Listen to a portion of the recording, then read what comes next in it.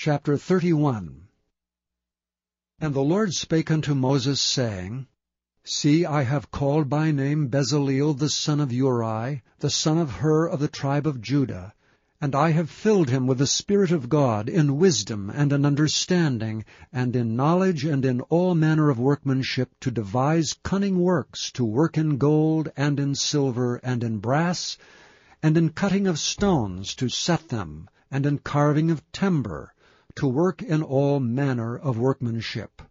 And I, behold, I have given with him Aholiab, the son of Ahisamach of the tribe of Dan. And in the hearts of all that are wise-hearted I have put wisdom, that they may make all that I have commanded thee, the tabernacle of the congregation, and the ark of the testimony, and the mercy seat that is thereupon, and all the furniture of the tabernacle, and the table and his furniture, and the pure candlestick with all his furniture, and the altar of incense, and the altar of burnt offering with all his furniture, and the laver and his foot, and the cloths of service, and the holy garments for Aaron and the priest, and the garments of his sons to minister in the priest's office, and the anointing oil, and sweet incense for the holy place, according to all that I have commanded thee, shall they do. And the Lord spake unto Moses, saying, Speak thou also unto the children of Israel, saying, Verily my Sabbaths ye shall keep. For it is a sign between me and you throughout your generations, that ye may know that I am the Lord that doth sanctify you. Ye shall keep the Sabbath therefore, for it is holy unto you. Every one that defileth it shall surely be put to death. For whosoever doeth any work therein, that soul shall be cut off from among his people. Six days may work be done, but in the seventh is the Sabbath of rest, holy to the Lord. Whosoever doeth any work in the Sabbath day, he shall surely be put to death. Wherefore the children of Israel shall keep the Sabbath, to observe the Sabbath throughout their generations for a perpetual covenant. It is a sign between me and the children of Israel forever. For in six days the Lord made heaven and earth, and on the seventh day he rested and was refreshed. And he gave unto Moses, when he had made an end of communing with him upon Mount Sinai, two tables of testimony, tables of stone, written with the finger of God. Chapter 32 And when the people saw that Moses delayed to come down out of the mount, the people gathered themselves together unto Aaron, and said unto him, up, make us gods which shall go before us, for as for this Moses, the man that brought us up out of the land of Egypt, we wot not what is become of him. And Aaron said unto them, Break off the golden earrings which are in the ears of your wives, of your sons, and of your daughters, and bring them unto me. And all the people brake off the golden earrings which were in their ears, and brought them unto Aaron.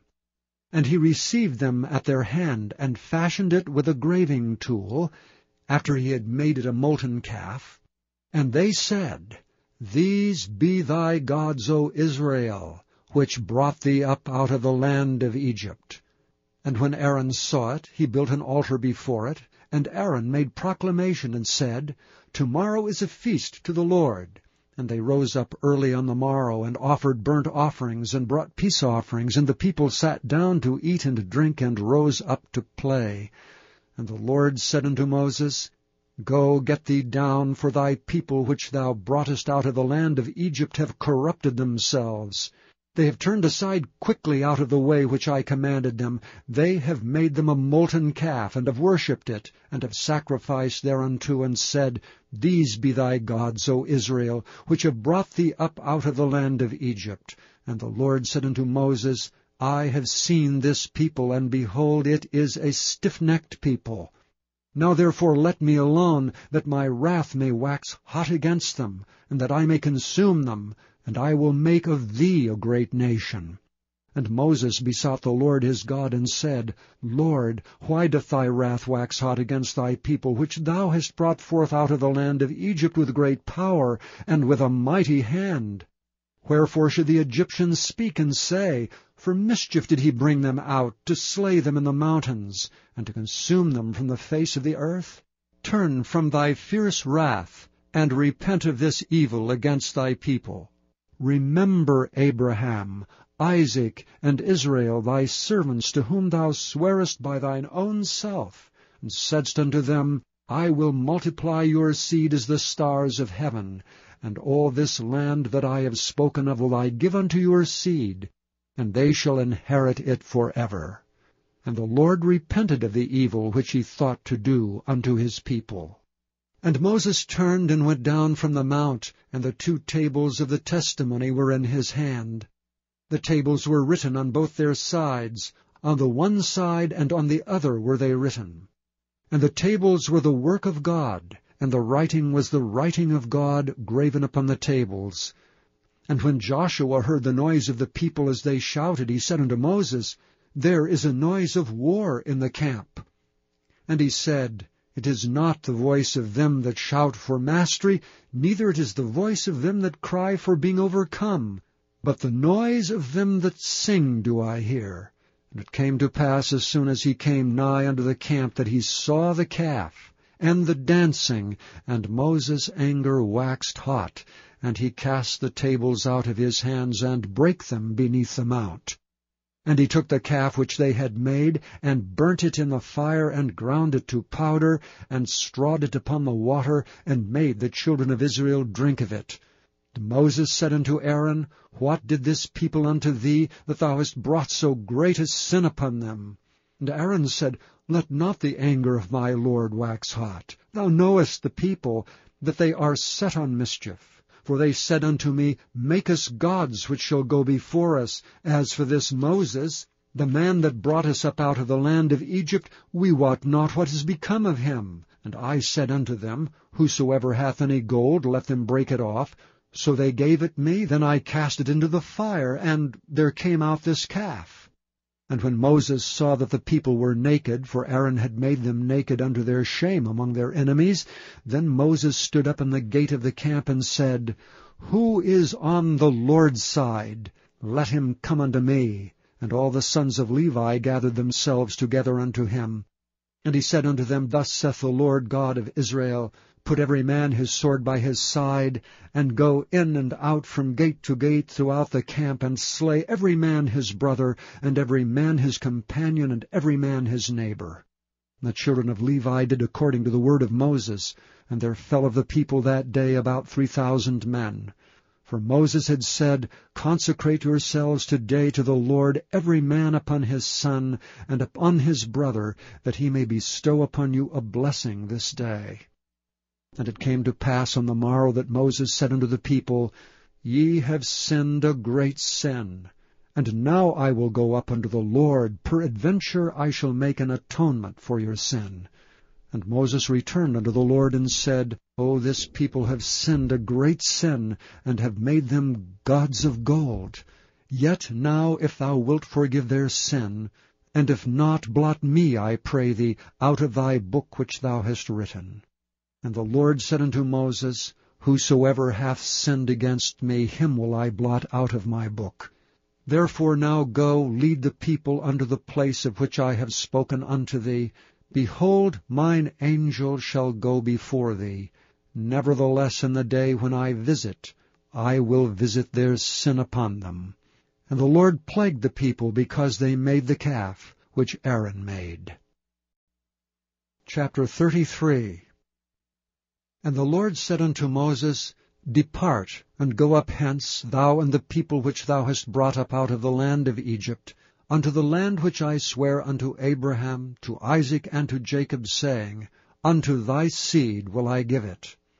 And I will send an angel before thee, and I will drive out the Canaanite, the Amorite, and the Hittite, and the Perizzite, the Hivite, and the Jebusite, unto a land flowing with milk and honey, for I will not go up in the midst of thee, for thou art a stiff-necked people, lest I consume thee in the way. And when the people heard these evil tidings, they mourned, and no man did put on him his ornaments. For the Lord had said unto Moses, Say unto the children of Israel, Ye are a stiff-necked people. I will come up into the midst of thee in a moment and consume thee. Therefore now put off thy ornaments from thee, that I may know what to do unto thee. And the children of Israel stripped themselves of their ornaments by the mount Horeb. And Moses took the tabernacle, and pitched it without the camp, afar off from the camp, and called it the tabernacle of the congregation. And it came to pass that every one which sought the Lord went out unto the tabernacle of the congregation, which was without the camp. And it came to pass, when Moses went out into the tabernacle, that all the people rose up and stood every man at his tent door, and looked after Moses until he was gone into the tabernacle.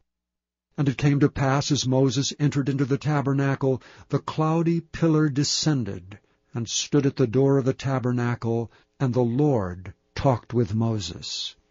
And all the people saw the cloudy pillar stand at the tabernacle door, and all the people rose up and worshipped, every man in his tent door.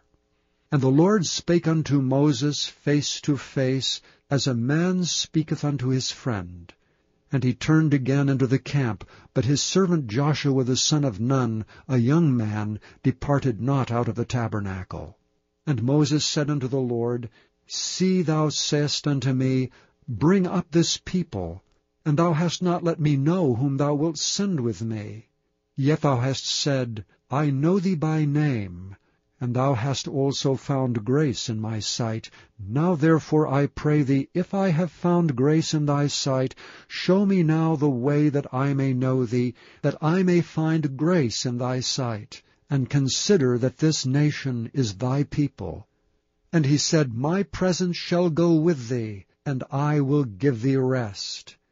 And he said unto him, If thy presence go not with me, carry us not up hence. For wherein shall it be known here that I and thy people have found grace in thy sight? Is it not in that thou goest with us? So shall we be separated, I and thy people, from all the people that are upon the face of the earth. And the Lord said unto Moses, I will do this thing also that thou hast spoken, for thou hast found grace in my sight, and I know thee by name. And he said, I beseech thee, show me thy glory. And he said, I will make all my goodness pass before thee, and I will proclaim the name of the Lord before thee, and will be gracious to whom I will be gracious, and will show mercy on whom I will show mercy. And he said, Thou canst not see my face, for there shall no man see me and live. And the Lord said, Behold, there is a place by me, and thou shalt stand upon a rock. And it shall come to pass, while my glory passeth by, that I will put thee in a clift of the rock, and will cover thee with my hand while I pass by. And I will take away mine hand, and thou shalt see my back parts, but my face shall not be seen. Chapter 34 And the Lord said unto Moses, Hew thee two tables of stone like unto the first, and I will write upon these tables the words that were in the first tables which thou breakest. And be ready in the morning, and come up in the morning unto Mount Sinai, and present thyself there to me in the top of the mount. And no man shall come up with thee, neither let any man be seen throughout all the mount neither let the flocks nor herds feed before that mount. And he hewed two tables of stone like unto the first, and Moses rose up early in the morning, and went up unto Mount Sinai, as the Lord had commanded him, and took in his hand the two tables of stone. And the Lord descended in the cloud, and stood with him there, and proclaimed the name of the Lord.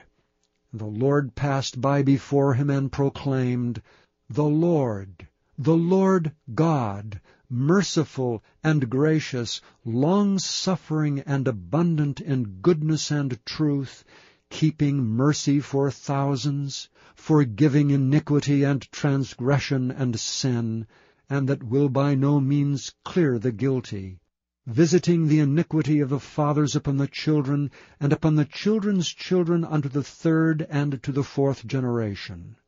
And Moses made haste, and bowed his head toward the earth, and worshipped.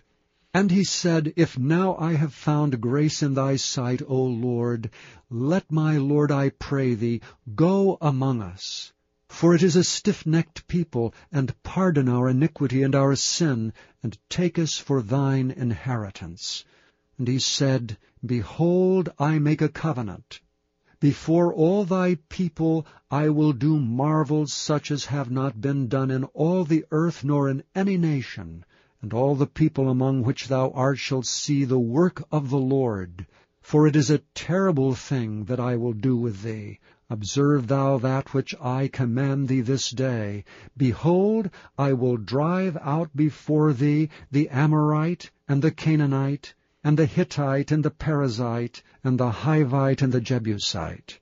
Take heed to thyself, lest thou make a covenant with the inhabitants of the land whither thou goest, lest it be for a snare in the midst of thee. But ye shall destroy their altars, break their images, and cut down their groves. For thou shalt worship no other God, for the Lord whose name is jealous is a jealous God. Lest thou make a covenant with the inhabitants of the land, and they go a whoring after their gods, and do sacrifice unto their gods, and one call thee, and thou eat of his sacrifice.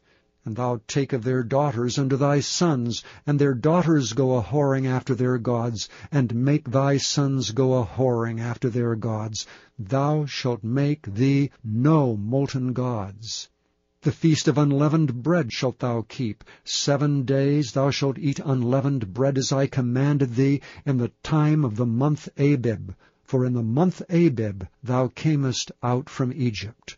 All that openeth the matrix is mine, and every firstling among thy cattle, whether ox or sheep, that is male.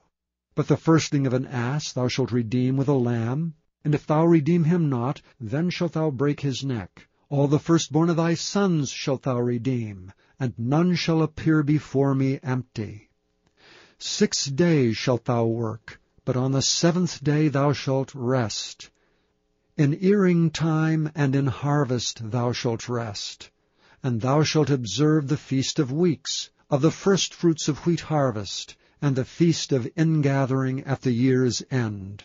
Thrice in the year shall all your men children appear before the Lord God, the God of Israel. For I will cast out the nations before thee, and enlarge thy borders. Neither shall any man desire thy land when thou shalt go up to appear before the Lord thy God thrice in the year. Thou shalt not offer the blood of my sacrifice with leaven, neither shall the sacrifice of the feast of the Passover be left unto the morning. The first of the firstfruits of thy land shalt thou bring unto the house of the Lord thy God. Thou shalt not see the kid in his mother's milk.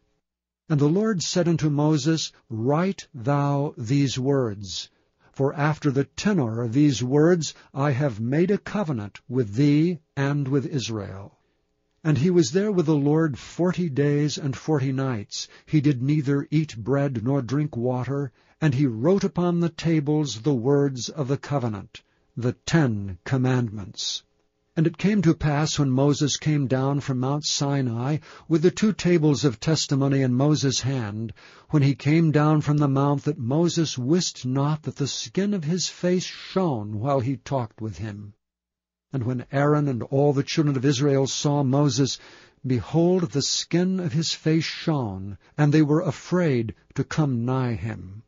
And Moses called unto them, and Aaron, and all the rulers of the congregation returned unto him, and Moses talked with them. And afterward all the children of Israel came nigh, and he gave them in commandment all that the Lord had spoken with him in Mount Sinai. And till Moses had done speaking with them, he put a veil on his face.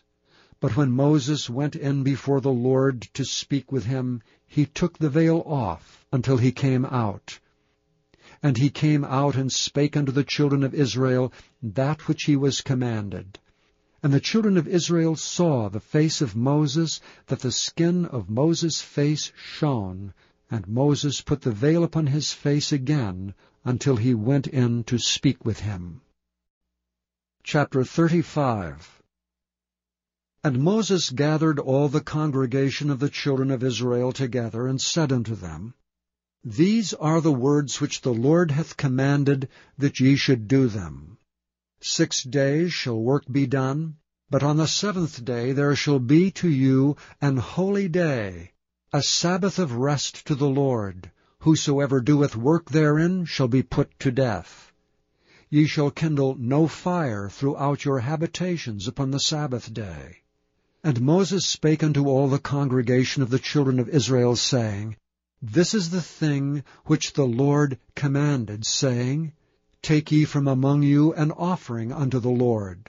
Whosoever is of a willing heart, let him bring it, an offering of the Lord, gold and silver and brass, and blue and purple and scarlet and fine linen and goat's hair, and rams' skins dyed red, and badgers' skins and shittim wood, and oil for the light, and spices for anointing oil and for the sweet incense, and onyx stones and stones to be set for the ephod and for the breastplate. And every wise-hearted among you shall come, and make all that the Lord hath commanded.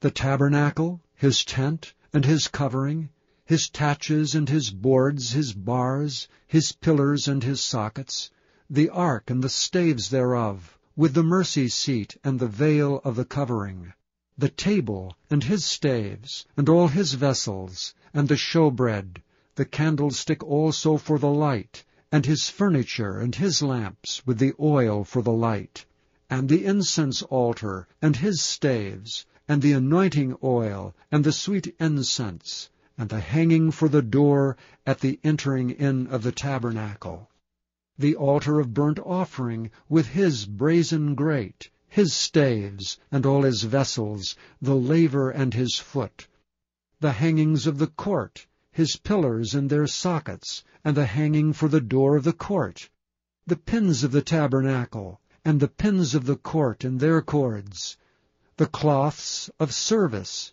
to do service in the holy place, the holy garments for Aaron the priest, and the garments of his sons, to minister in the priest's office. And all the congregation of the children of Israel departed from the presence of Moses. And they came, every one whose heart stirred him up, and every one whom his spirit made willing, and they brought the Lord's offering to the work of the tabernacle of the congregation, and for all his service, and for the holy garments. And they came, both men and women, as many as were willing-hearted, and brought bracelets and earrings and rings, and tablets, all jewels of gold, and every man that offered, offered an offering of gold unto the Lord. And every man with whom was found blue and purple, and scarlet, and fine linen, and goat's hair, and red skins of rams, and badgers' skins, brought them. Every one that did offer an offering of silver and brass brought the Lord's offering, and every man with whom was found shittim wood for any work of the service brought it. And all the women that were wise-hearted did spin with their hands, and brought that which they had spun, both of blue, and of purple, and of scarlet, and of fine linen.